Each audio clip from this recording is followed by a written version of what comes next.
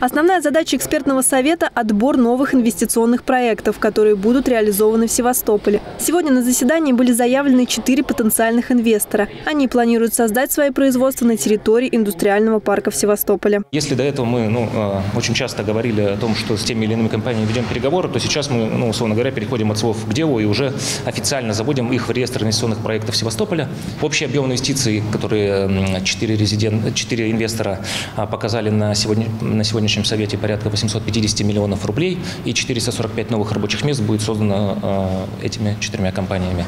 Предприниматели выступили с предложениями развития бизнеса в двух направлениях – строительство логистического комплекса и производство строительных материалов. Мы являемся производственной компанией, э, локализуемся в Ульяновской области, э, Приволжского федерального округа. Занимаемся производством и реализацией строительных материалов. На данном этапе мы видим для себя возможностью дальнейшего развития, создания производственной базы в городе Севастополь.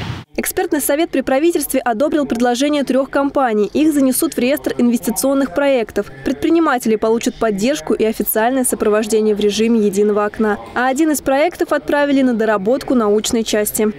Катарина Вербицкая, Андрей Тымчук, информационный канал Севастополя.